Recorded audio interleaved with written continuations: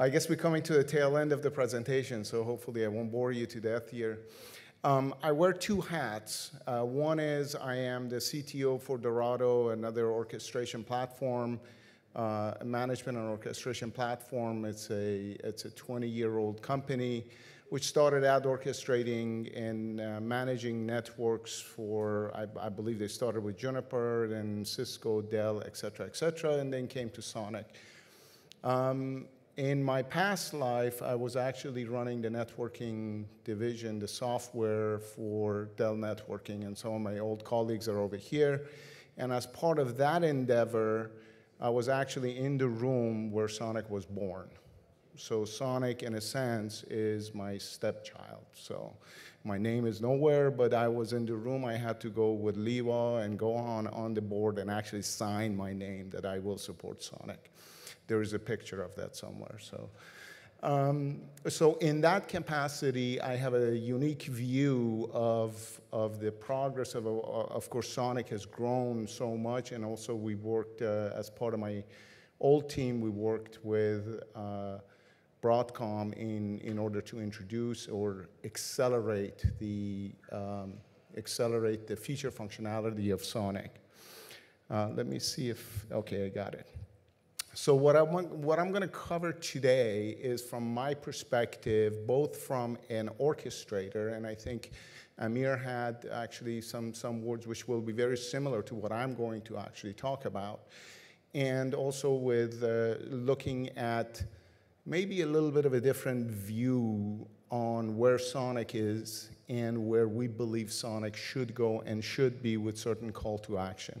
Uh, I also do want to express my gratitude to Stordis for the invitation. This is a, we're really grateful for being here. Um, I did talk about the, the origin of SONiC. The only reason I put this up here is really the last bullet.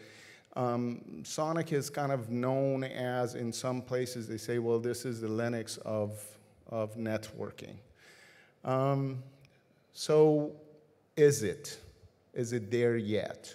Well, we know Microsoft actually is deploying SONiC on, on Azure and Alibaba, very, very involved. But if you start taking those out of the equation of the deployments of SONiC, how much has SONiC grabbed roots, and what is it required for SONiC to actually become truly the Linux of, uh, of networking? And this is a question that Gartner asks us I know we speak with Dell'Oro. They have their, their own points of views. We have our own point of view. Uh, but we believe that certainly SONiC is the way to go. So, so it is the way to go, but there are uh, challenges. I think a lot of the, um, the presenters have been talking about those, and hopefully I can actually put them into a pretty concise way for you to consume. Um, this is a simple slide, but it is something that people forget. When you, when you look at ultimately what do customers want, and customers are broad, right? So, and I, I'm going to break down those customers into your data center, your campus that Matt just talked about. We talk a little bit about telco. I think actually I'm going to focus on the telcos a little bit more, and then ultimately I'll bring AI into it because you know that's a shiny new object. I have to say something about AI. What do they want? It's cost. You know, at the highest level is cost. Um, and the cost is the TCO, it's total cost of ownership. It's not just what it takes for me to acquire, but what it takes for me to run it, what it takes for me to in, expand it. So all of those translate into cost. Quality. Quality stands out a little bit more because quality, depending on whom you're talking to from a from a company position, quality will, will surpass cost because if quality is poor, I may lose my job. Okay? So, you know, one of the things that, you know, the old timers over here, we kind of know is that somebody would tell us, it says, hey, I will not lose my job if I deploy Cisco. Very straightforward. Well, would I lose my job if I deploy SONiC managed by something else? So quality in that scenario will surpass the cost. Okay, so you have to keep that kind of, kind of that in mind. Uh, and, and so sometimes we kind of forget the TCO aspect of, of challenges to, to deploying Sonic.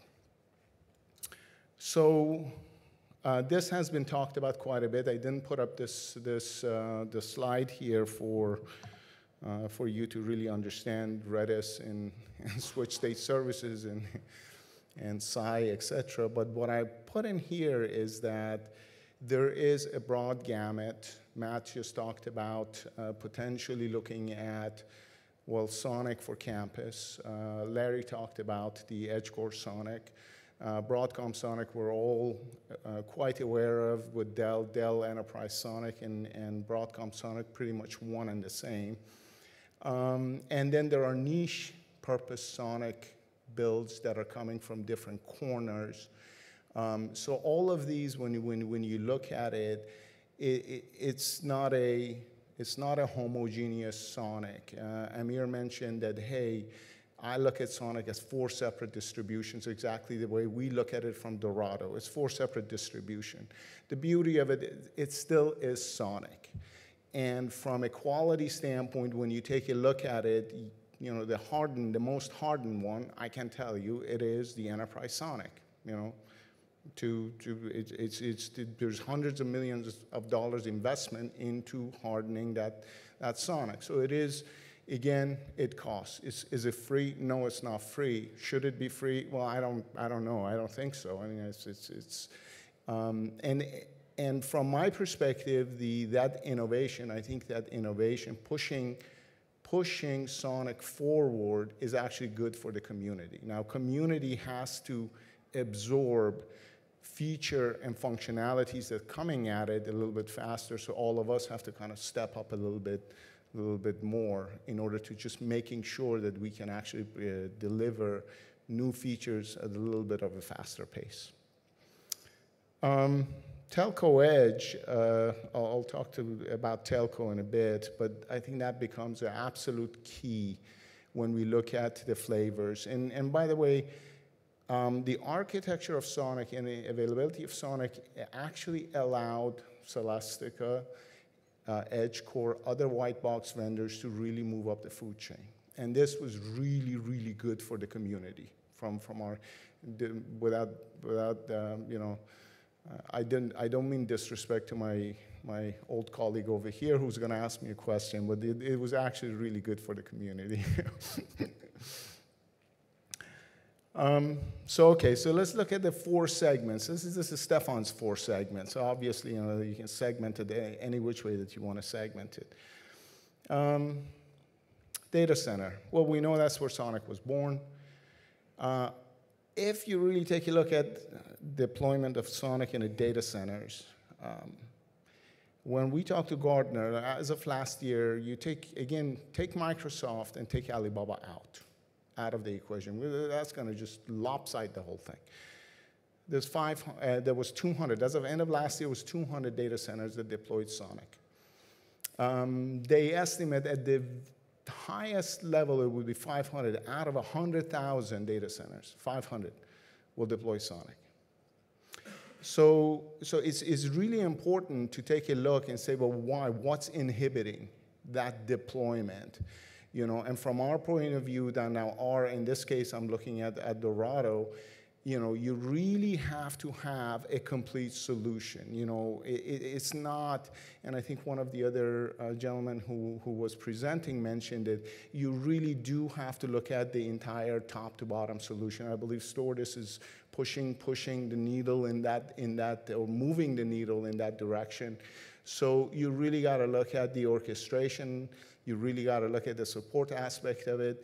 And uh, you really look at, have to look at and see, well, is the commoditization of the hardware uh, uh, something that can be taken advantage of, or are you getting locked down again with a vertically integrated hardware and NOS? So that's, that's something that you have to take a look at. So we're not there yet with data center, even though the data center is where Sonic was born. And when you look at campus, and Matt actually talked about campus, um, I, I, I, think I have enough time to actually tell you a joke over here or something that I thought about. Uh, I talked to a lot of campus customers as, as part of Dorado. And um, I've seen white papers that talk about how you deploy Sonic in a campus, and the white papers, you know, it's okay. Well, you deploy, you know, your overlay over here, your underlay, you do the VXLAN over here, and you create your fabric this way. You do a MC lag, or you do a multi-home uh, EVPN on, on, on your campus network, and and you're talking to the guy who's operating it, and the guy says, you know, I got a closet. All I know is where's my L2 and where's my L3 boundary, right? I have a distribution frame. I have either a main distribution frame or I have an intermediate distribution frame, which basically has my access, access uh, devices attached there. And uh, you know, I, I, need to understand where my, my, my VLANs are coming in and going out. So it's essentially, you know, um, it's, it's as if though you're teaching an offside, you know, offside trap for, your, for, for those of you who actually play football. And for your American folks over here, I mean soccer. Uh, you play football and you're trying to teach an offside trap to somebody who plays American football. And, and you're telling him that go ahead and play football and make sure that you don't get uh, caught in an offside trap. Um, you know, it's, they don't understand you. You, you, you, you tell fabric. They kind of look in your eyes and say, what's a fabric? I, I, I, kid you not. I mean, five, six customers, I, I went there, it's a fabric. You know, what is a fabric? So from an orchestration platform, we actually partnered, we partnered with Dell, and we went ahead and created a release or a, a product that says, hey, here's, here's a IDF, here's an MDF, and this is, you know, we, we will manage and orchestrate your closet that looks like a closet.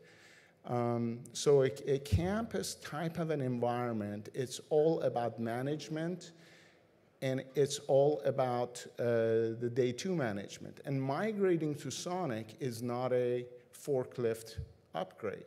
So you have to kind of consider, well, how do you go? Would you go from one closet at a time? Do you start with the data center with, or the core piece of it? How do you go? So from an, uh, from an orchestration standpoint, we had to always look and say, well, how do we enable these migrations into, into Sonic? Um, from a feature functionality, I think Matt covered it, and I think that though that's good to hear that we are seeing movement in the Sonic environment to actually come up with a lighter weight version of Sonic, and additionally with the new um, feature functionalities or the feature functionalities that are required for a campus environment. Now, when you go to the telco side, it's a bit of a different story. So on a telco front, um, I don't know if we have anyone from a major telcos over here, but we do work with, um, we work with Vodafone, Orange, you know, all the big, big, big guys.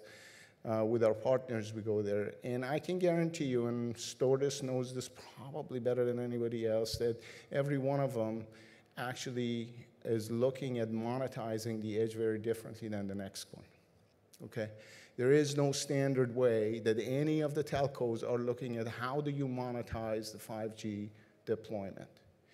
Now, one thing that's happening with the telcos is that you are seeing a disaggregation. It is, a, it is the disaggregation that happened with the, with the data center, um, you know, uh, you know, with the hyperscalers, with the data centers that introduced open networking and introduced the uh, commoditization of the hardware, uh, is now the, the telcos are looking and saying that, okay, we are seeing the disaggregation, and we want to take advantage of the disaggregation. And Sonic now starting to look good because it's also born out of that kind of disaggregated world, the open networking. Orchestration and management is a key in the telco side, but on the telco side, there is no one size fit all. So what we experience is that you have to be able on the management and orchestration work nicely horizontally. You have to work nicely because um, you know there are in there are either tools, you know, scripts, Ansible scripts. You know, when you go to a campus environment, Ansible scripts and so forth is a headache. When you come to the telcos, those operators, the, the guys who are doing the operation, they already have certain libraries that even if you come up and you're starting to set up the, uh, the plumbing, essentially, the, the, the, fabric, you still have to play very nice. So we've been very cognizant of this at Dorado, really expanding our automation center that says that, hey, we can actually play nice within these environments. We're cognizant of it. Uh, clearly, clearly slicing of the network is, is very important. So it was interesting to hear Cameron talking about introducing VXLAN support on the Tomahawk 5 platform because that's something that when you look at the, um, you know, um, well, when you look at the edge, actually, if I, if I go there, it's, it's going to be going down a rabbit hole. But you really have to look at a slicing, uh, the network slicing, and ability to orchestrate those slices um, very successfully is, is, is extremely important for, for the telcos. Now, also, how do you then take that slice from the edge to the mid haul to the back haul? Well, MPLS is not supported from an open source standpoint. There are MPLS and there are Sonic versions that do support MPLS, but that hasn't been contributed. And for example, we know that uh, Microsoft, you know, they, they, by purchase of Metaswitch, they do have MPLS stacks that they can run on top of their Sonic. Um, I believe Juniper also had announced, and this is a, this is a public announcement, that they, they, they did announce that they are running MPLS on, on Sonic um, or segment, segment routing, formerly to have segment routing in Sonic. So all of these, they have to actually come in. Uh, but then again, at the same time, for the telcos, they also look at, well, I need one, one neck to choke. You know, so you can't, you know, the, the bits and pieces, hey, I'm going to pick, pick, pick a piece here, pick a piece here. We really have to look at, look at the, the one neck to choke. Um, okay, the big shiny object, AI. Uh, AI is in, in its infancies. I think Cameron talked about the Tomahawk 5, what's coming out of Ultra, Ultra, um, Ultra Ethernet Consortium. Uh, you have the backend networks, you have the front end. Um, you know, uh, really AI gets into the monitoring aspect. How much is Sonic going to to enable um, orchestrators and, and you know, uh, to, to actually monitor um, the in-band uh, capabilities that exist with the embedded ARM platform on, on Broadcom is, is absolutely, absolutely phenomenal. I know that because in my past life I worked with it. Um, but if we look at AI, AI is not just about large language models. You have AI also coming towards the edge and so forth, and you can't always afford to put Tomahawk 5s there. I mean, that's big. So now, if we kind of bring it down a little bit to a maybe a less expensive device, can an orchestrator look and assist with congestion and actually minimizing the impact of the large, um, the, the elephant flows or whatnot that is going through, can we actually look at it and, and, and remedy the situation? That's something that we're looking at. And, and obviously, you know, when you look at what's going to be coming out from a standards bodies, as soon as those are released, there's going to be um, all the orchestrators, you know, and I, I know Beyond Edge is, is, already made the announcement. We're about to make the announcement. We all will be doing exact same thing from a uh, looking at uh, those platforms and making sure that we can actually um, we can orchestrate those, those, uh, those, those flows. But anyhow, when we look at AI fabrics, it's great from a uh, ultimately uh, adoption of Sonic. I think it will be a boost because it's a, it's an easy fit. It's not that difficult. It's an easy fit.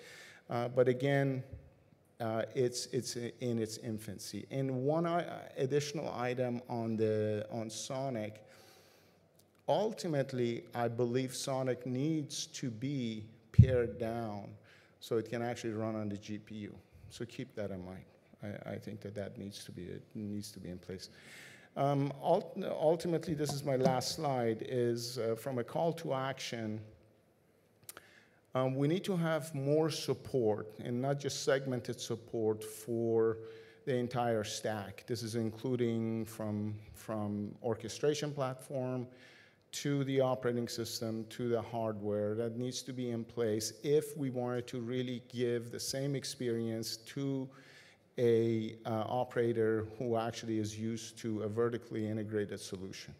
And we have to kind of target that. So it has to be kind of kind of vertically integrated rather than piecemeal solutions. So piecemeal solutions do, do not work. Um, there needs to be more from, from, from my perspective. I, I, I um, mention again what Matt was mentioning. There needs to be, again, more, more innovation outside of the data center on, on Sonic.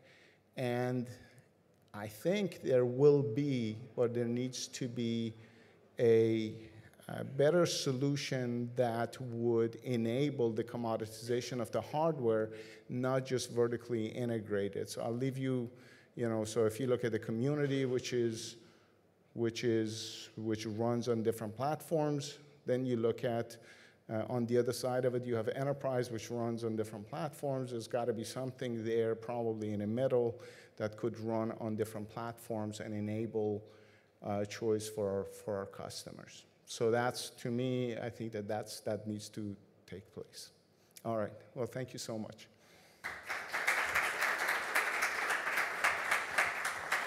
Questions? Any questions?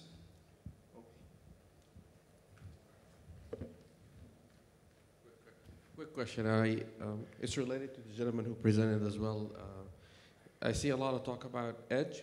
Um, uh, an interesting observation on my end, I believe there is a lot of consolidation that happens on the edge, and I'm seeing a lot of push, meaning a lot of the services, because customers wants to uh, consolidate based on the things that happen geographically, power consumption, all that kind of stuff. So you see firewalling running virtually on x86 platforms.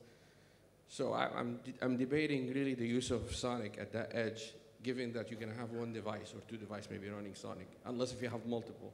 So just, just understand the view of having these devices run the edge if you can uh, eventually run um, anything on x86, unless if you're actually going to virtualize Sonic to run on x86 to provide that connectivity. Yeah, I think uh, I think Rami, you put your hand, your finger on a, absolutely a, an, an, item that um, uh, I was actually going to, to mention, and I did not mention in my, in, my, in my talk, is that Sonic should be virtualized. It's, it's already set up to be virtualized. I know Mavenir did it uh, in a sense of creating the, uh, the uh, virtualized cell-site router.